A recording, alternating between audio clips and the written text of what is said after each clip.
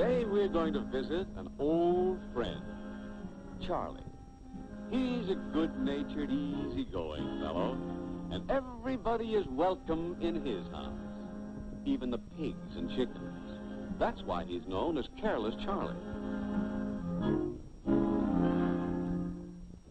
Ah, here's another guest who visits Charlie at mealtime, Miss Fly.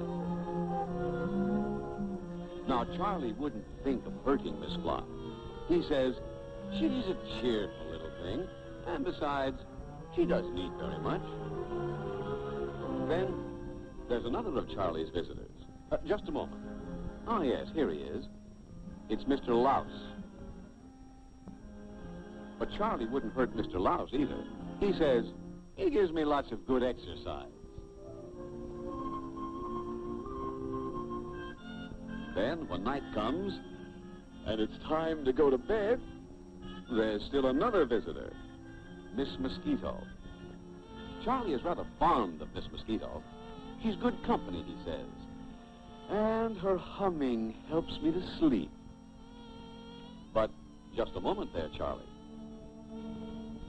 Do you realize that these three visitors are not your friends? Yes, the fly and the louse and the mosquito are your enemies. They can bring you sickness and suffering, and even death. Oh, you say, such little creatures couldn't possibly hurt you. Well, if you knew more about these little creatures, but here, suppose we make you small, so you can see them as they really are. There. Now, Charlie, take a look at your visitors. Uh-huh. They don't look very funny now, do they? No, indeed. They're ugly, vicious-looking creatures. Take Miss Fly there, for instance. Why, she is one of the world's great disease carriers. And the sad part is that you, Charlie, help her. For your yard is full of filth and garbage, giving her a perfect place to live and breathe. And you have neighbors who help her, too. For they have no latrine and leave their waste in the field. Now, this waste is often full of microbes, the tiny creatures that cause sickness. But Miss Fly is very fond of filth. She walks around in it, and soon her legs are covered with filth and the deadly microbes. Then she flies back to your home.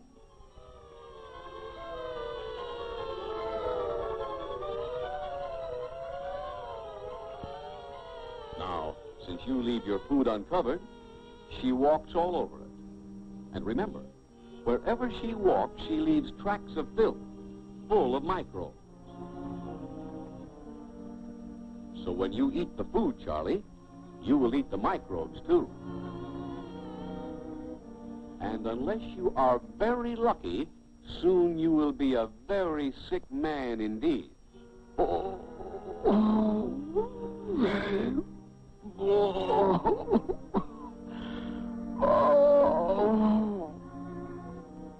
Miss Fly carries disease, Charlie. How do you like her now? Uh-uh, just a minute. You can attend to Miss Fly later. First, let me tell you about Miss Mosquito. For you see, she is no ordinary mosquito. She is the mosquito that spreads the deadly malaria. And it's partly your fault, Charlie.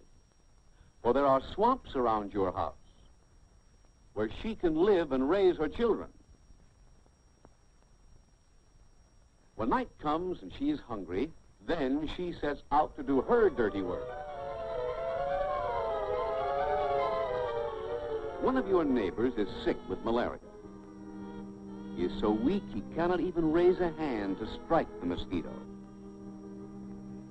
So she digs through his skin and feeds on his blood. But as she drinks his blood, she also drinks the microbes of malaria.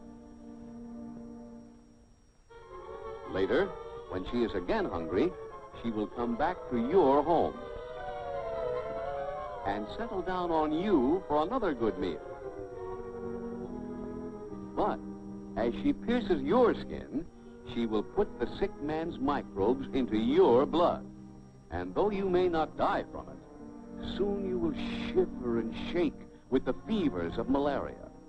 And all because of one malaria mosquito. Oh, Charlie, don't bother her yet. You must still learn something about Mr. Louse. He is the most dangerous of the lot. When Mr. Louse brings sickness to people, it may be the end, for he carries typhus. And how does he do this? Well, remember your neighbor who was sick with typhus?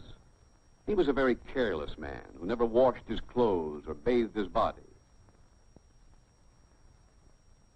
But Mr. Louse liked dirt, so he was very happy there. Whenever he was hungry, he would drink the man's blood, which, of course, was full of the microbes of typhus.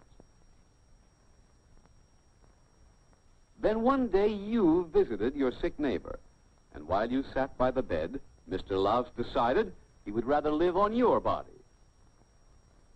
So he crawled over onto your hand and was very, very happy. For you were the dirtiest man he had ever seen. Now, Charlie, if he bites you and you scratch, the microbes of typhus will enter your body.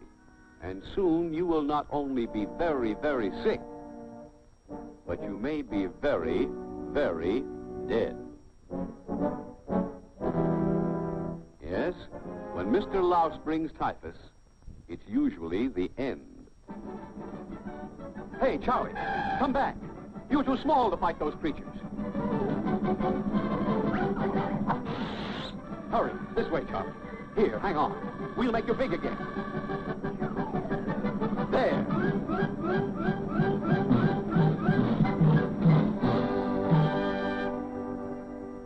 Charlie, you certainly fixed those villains.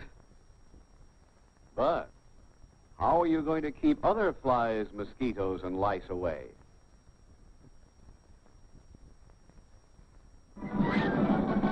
Ah, Charlie's got the idea. See? He's cleaning up the yard and burying the filth so that the flies will have no place to live and breed. And now watch him. Uh-huh, he's draining the swamps. Now the mosquitoes have lost their breeding place. But where has Charlie gone? Aha, he's boiling his clothes. That will fix Mr. Louse and his evil brood. But what's this? Why, Charlie's taking a bath. Well, you've certainly changed your habits. From now on, we'll have to call you Careful Charlie. And you'll be a healthier and happier man. So long, Charlie.